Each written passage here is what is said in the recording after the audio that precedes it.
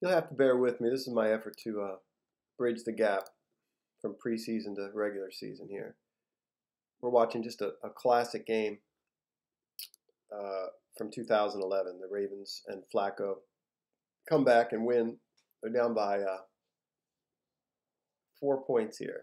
Um, on their own eight yard line. And this is a game, this is one of those games where you definitely remember it. Remember where you were and who it was you were watching the game with. Uh, check out McKinnie here. He's working uh, against Harrison. Harrison's going to work inside. Gets a good piece of Harrison there. And then he's attentive enough to pick up this stunt. Joe gets flushed here. See him pull the ball down there. See this uh, uh, edge guy getting getting a swipe at the ball. These games were just nail biters, all of them, and they were violent, violent football games. The, the rivalry was really intense, and Joe does a good job getting uh, rid of the football. Um, second and ten, still on the eight yard line. I think it's about two minutes and fifteen seconds to go. Um, we're going to see Joe hit Anquan Boldin. This is Anquan here. He Runs a slant, sort of a deep seam slant route here. It's a nice throw. See if it's better from a different different angle here. Just a beautiful ball. Look at Joe. Look at Joe getting that ball right where he needs to, right to, to Anquan on the uh, slant. And it was at that moment uh, we were out of the shadow of the, the, the end zone, and you had a, at least a, you could breathe a sigh of relief.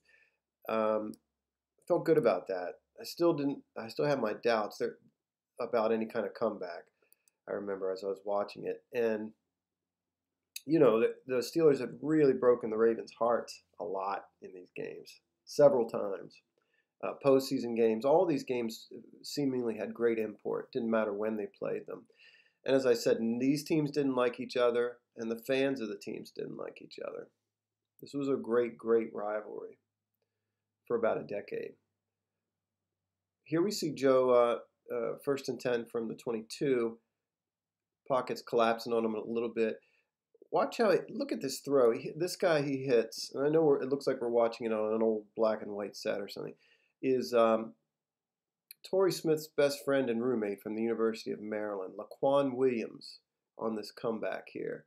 Ball's right there waiting for him. Joe's got a, a um, an opportunity to hit the underneath here, but he doesn't. Just a great throw. Wonder if the other angle's a little bit better. Joe's just got guys around his feet. He was fearless in those days. Look at this throw. Look at this throw.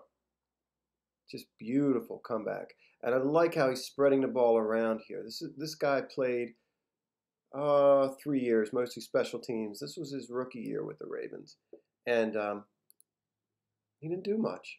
But Joe Joe had confidence to hit him there. Um, first and ten at the 42. He's looking at Ray Rice there, out of the backfield. Um, let's watch what happens. Number 50 whose name escapes me, is going to influence this throw. Who's 50? And look at that. Great, great uh, play on his part. Foote, that's it, Larry Foote. That definitely influences the throw, and you can see Joe just misses Ray Rice. The ball goes incomplete. Um, just the, the players in this rivalry were just something. Ed Reed, Polamalu, Ray Lewis, Hines Ward. Um, yeah, it is second and 10. Joe finds Boldin. Now, Boldin was a big weapon on this drive. Boldin's a little bit short here. Just a nice throw. And uh, he goes down about a yard short of the first down. Um, it's third and one. Uh, this is a, a, a, a, uh, frightening play. It's almost a pick. And here's the, I think this is Larry Foote again. Watch what happens off the snap. It's a low snap from Birk. See that snap down at Joe's knee?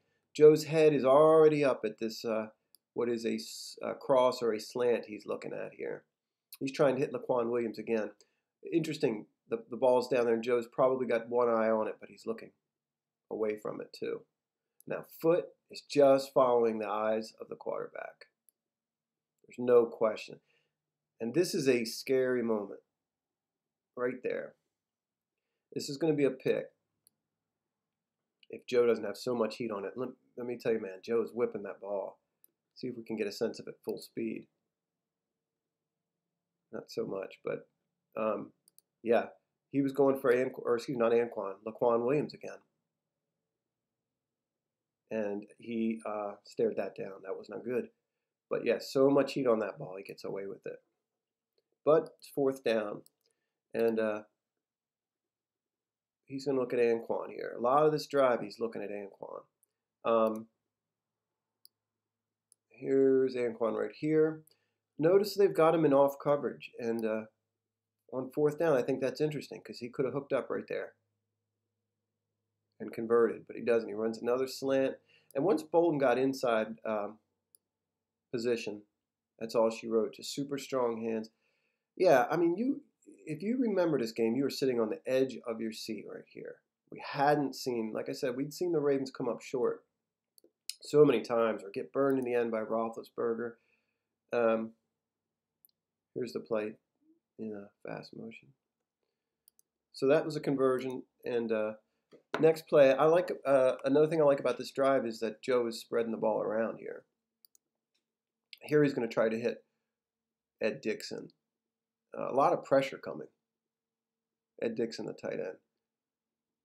Here's Ray Rice picking up 93. Don't know who 93 is.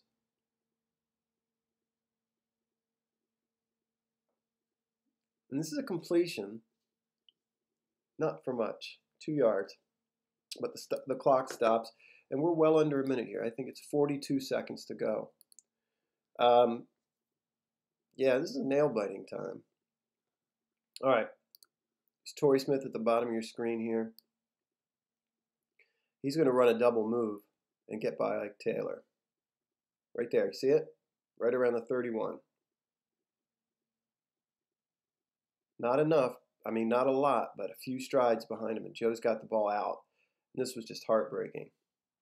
Drops it right into his arms, and Torrey Smith drops it. Watch uh, uh, Ike Taylor. I don't think he could get away with this.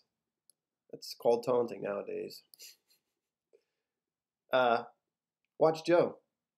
This was just a beautiful, beautiful drive. Gutty drive. Watch him step up here. It put, puts me in the mind of uh, Joe, that 70 yard bomb in Denver.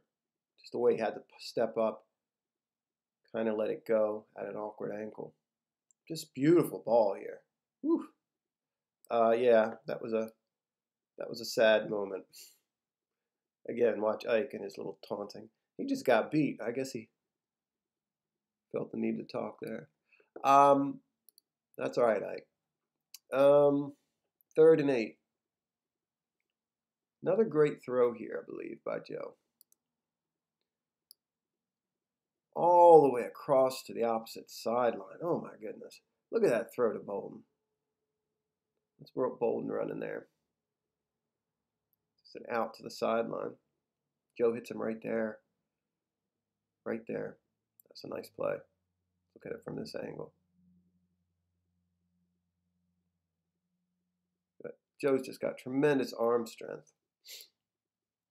And you, it's on full display in this drive.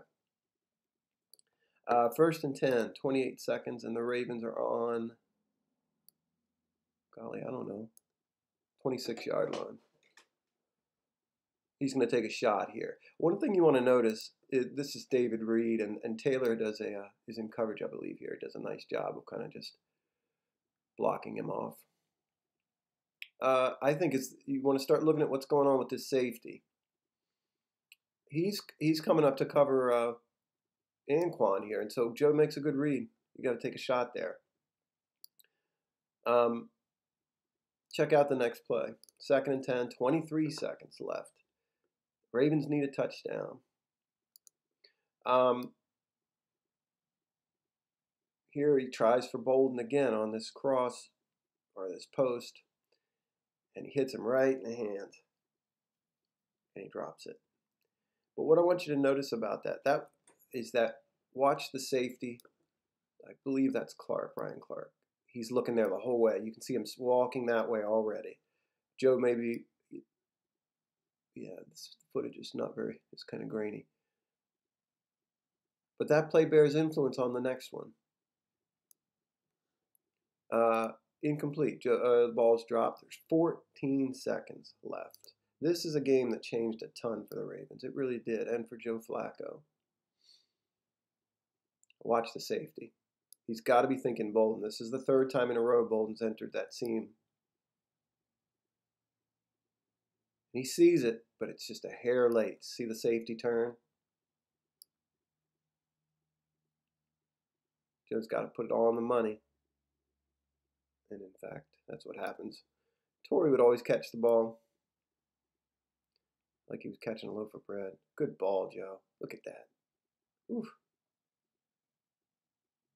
And uh, that's redemption. Everybody loves redemption, man. It's the great story, the great human story. There's Torrey getting a chance in the same game to make up for his drop. And that was it. That's all she wrote.